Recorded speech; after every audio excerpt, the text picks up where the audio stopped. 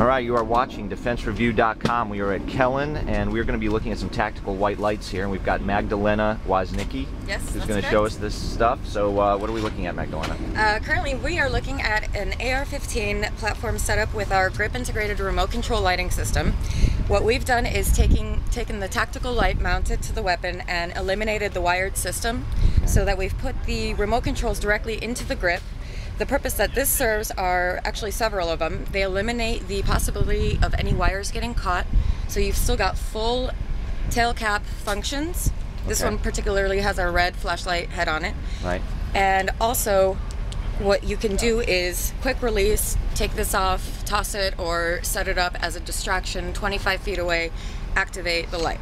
Another purpose that this serves for the Spec Ops guys is that they now have both trigger control and lighting control in one hand so that when they're clearing or sweeping, they don't have to take their hand off the weapon at any time and instead can do, you know, in teamwork exercises or like I said, clearing doors, anything like that, all with trigger and and light control. All of our lights also feature strobing functions, eight levels of output. Top output for our white lights, which is right over here, is 350 lumens. We also have the interchangeable heads from green, UV, IR, and uh, and red. We also have all of our uh, interchangeable flashlight heads. So this is a 4 LED floodlight, also mounted, fits same flashlight body, and the same system applies. All of the flashlight heads are interchangeable, and it will not uh, not lose the signal. Our transmitter and receiver is in the tail cap.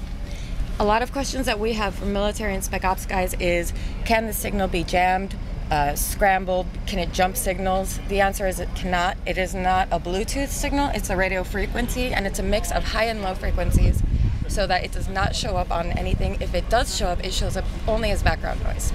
A couple things that we are capable of doing is programming a thousand lights to one remote or vice versa, a thousand remotes to one light.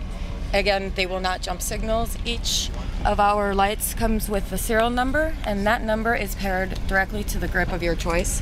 Some of the grips that we've been integrating is binary rail system with the Kellan top, our chip inside, and the bottom part is made by US Palm.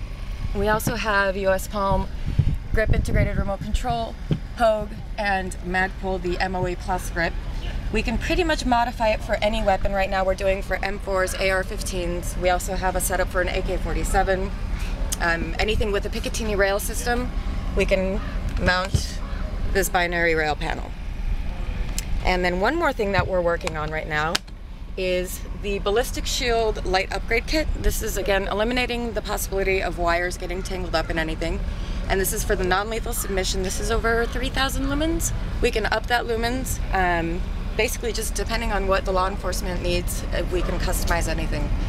We've got the uh, we've got the technology, and so we just need the requests for what you guys need, and we'll we'll get you taken care of. All right, thank you, Magdalena. I Thank you. appreciate it. All right, you are watching DefenseReview.com.